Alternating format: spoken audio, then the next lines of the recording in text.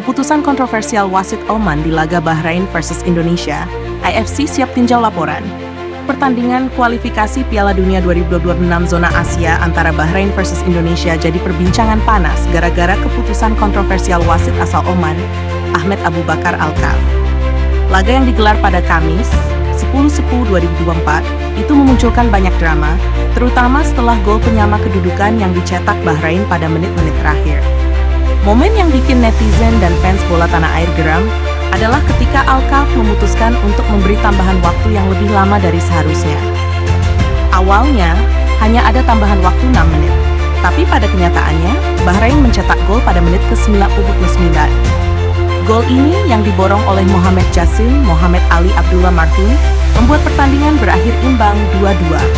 Tentu saja keputusan ini bikin Indonesia meradang, Apalagi laga sudah lewat 3 menit dari tambahan waktu yang diberikan. Gak heran, situasi di akhir laga sempat memanas. Tim Indonesia yang merasa dirugikan gak bisa menahan emosi.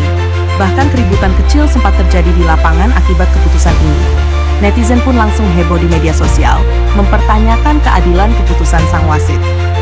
AFC turun tangan, AFC Asian Football pun nggak tinggal diam.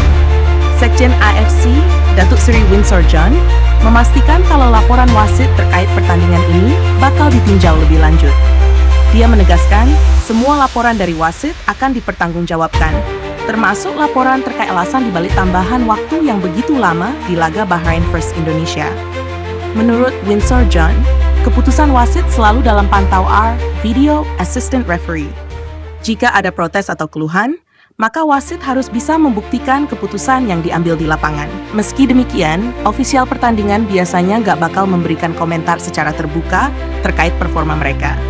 Tapi, mereka tetap diwajibkan membuat laporan terperinci yang kemudian akan diberikan ke FIFA untuk diproses lebih lanjut. Krisis wasit berkualitas di Asia Menariknya, dalam pernyataannya, Windsor John juga menyinggung krisis wasit berkualitas di Asia saat ini. Dia mengakui kalau benua Asia memang kekurangan wasit dengan kualitas tinggi. Situasi ini jelas menjadi tantangan tersendiri, terutama di tengah kontroversi yang melibatkan Ahmed Abu Bakar Al-Kaf. Kami benar-benar membutuhkan lebih banyak wasit berkualitas dari wilayah Asia. Saat ini, hanya ada beberapa nama yang terkemuka, seperti Nazmi Nasaruddin dari Malaysia. Tapi, kita butuh lebih banyak lagi wasit yang bisa memenuhi standar internasional, ungkap Windsor John.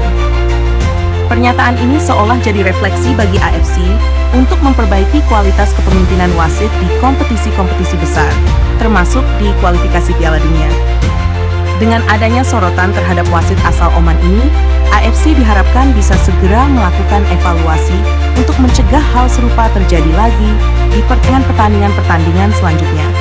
Bagi Indonesia, momen ini jelas menyakitkan. Putih sudah berada di ujung kemenangan namun harus rela menerima hasil imbang yang terkesan tidak adil. Fans sepak bola Indonesia berharap dengan adanya peninjauan laporan wasit oleh AFC, ada keadilan yang didapat, meskipun hasil pertandingan tidak akan berubah. Kontroversi ini juga menjadi bukti nyata betapa pentingnya kualitas wasit dalam sebuah pertandingan. Keputusan-keputusan kecil yang dibuat di lapangan bisa berdampak besar pada hasil akhir dan nasib tim yang bertanding. Nah, kita tunggu aja kelanjutan dari kasus ini. Apakah AFC akan memberikan sanksi atau sekadar evaluasi untuk sang wasit? Yang jelas, para pencinta sepak bola Indonesia masih berharap ada tindakan tegas demi menjaga integritas kompetisi di level internasional.